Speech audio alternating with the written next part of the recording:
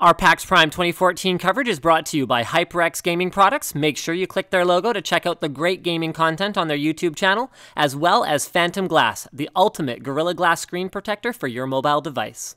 All right, guys, welcome to one of our last videos at PAX Prime. My voice is pretty shot at this point, so hopefully it doesn't crack anywhere throughout the video.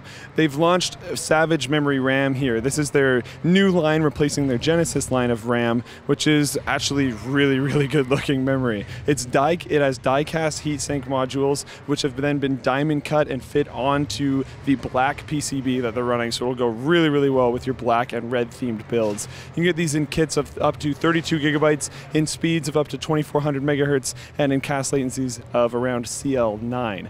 It also is low profile memory, so if you're running something like a Noctua NH-D14, you'll should be fine. I haven't done any size testing myself, but they do look quite short, so I'm pretty sure they'll fit under there you would have to get the 2011 kit, but I believe that comes stock with NH-D14s now. Anyways, also here at the booth, they've been overclocking it, and I have seen the fastest memory personally so far here at the event of 3300 megahertz. That was booted earlier today. Right now we're having a little bit more problems, but it's a new and kind of rough platform. It'll it'll it'll mature later on down the line. We'll see much higher overclocks down the line, but that's pretty impressive for thus far. HyperX at PAX 2014 pretty much has you covered in terms of memory. With Predator on DDR4 and Savage on DDR3, you have two brand new lines of memory launched, and with their overclocking going on here, if you were live at the event, that was pretty sick too. Thanks for watching all of our HyperX content. If you want to see more HyperX content, be sure to check out their YouTube channel. They're releasing tons of cool stuff, and not just product videos. They're releasing very entertaining stuff and all well-rounded, good YouTube YouTube channel, and that's why they've exploded over the last little while.